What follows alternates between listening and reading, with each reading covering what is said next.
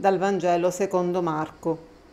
In quel tempo gli apostoli si riunirono attorno a Gesù e gli riferirono tutto quello che avevano fatto e quello che avevano insegnato.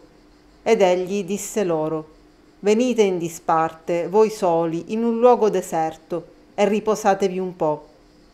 Erano infatti molti quelli che andavano e venivano, e non avevano neanche il tempo di mangiare. Allora andarono con la barca verso un luogo deserto, in disparte. Molti però li videro partire e capirono, e da tutte le città accorsero là a piedi e li precedettero. Sceso dalla barca, egli vide una grande folla, ebbe compassione di loro, perché erano come pecore che non hanno pastore, e si mise a insegnare loro molte cose. Parola del Signore. Carissimi amici di Lacrime d'Amore TV, ben trovati. Il Vangelo di questa domenica ci presenta ancora una volta la misericordia del Padre, la compassione del Padre. C'è un Dio che ha un cuore grande e questo cuore grande ha una realizzazione terrena, è il suo figlio Gesù.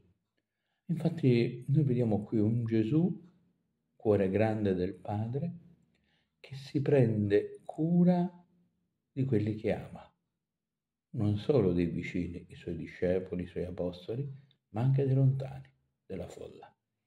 Infatti tutto il brano del Vangelo di Marco che ci viene presentato in questa domenica è un brano che ci parla di compassione, di amore, di presa di cura, di attenzione, di sguardi che vanno oltre ciò che si vede, di chi ha una sola preoccupazione, il tuo bene.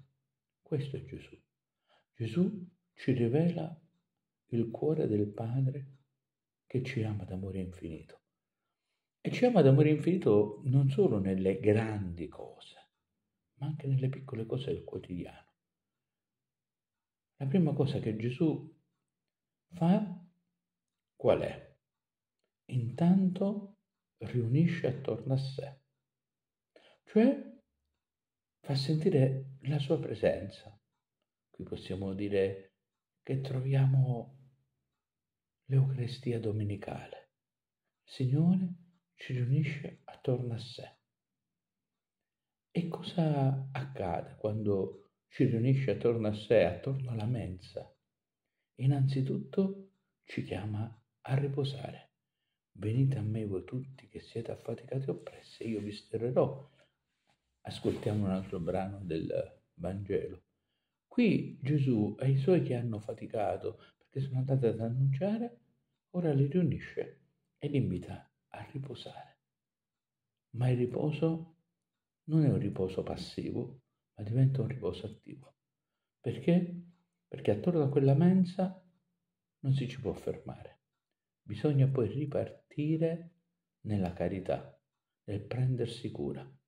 Allora la mensa eucaristica diventa per noi cristiani il luogo del riposo, ma anche il luogo della ricarica, perché questo cuore compassionevole del Padre che si rivela nel Figlio Gesù arrivi a tutti gli uomini.